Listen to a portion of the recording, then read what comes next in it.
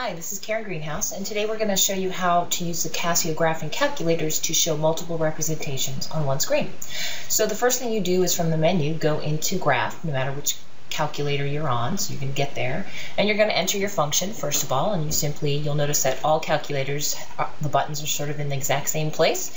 Um, so we're just going to enter negative x squared minus 2x plus 2, a simple quadratic function, and hit execute. And now you're going to see the graph in each. Depending on the calculator, it looks slightly different. Um, resolution, you know, as you move up the line. So now we want to um, see a table. So to do that, while you're in graph, you're going to hit Shift menu and scroll down till you get to dual screen and turn it on to GT, which means graph to, to table. It'll take you back to that screen.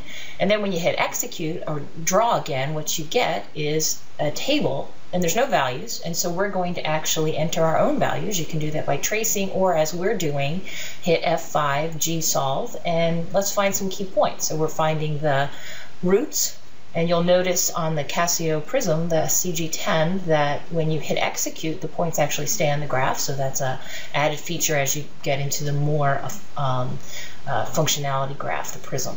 So we're just going to enter some key values. We're using GSolve for the first three. So we got our two roots and we've got our max point. And then we're just going to hit trace, so F1, and trace an additional point. And so now you'll see we have the function, the graph, and a table, multiple representations all on one screen.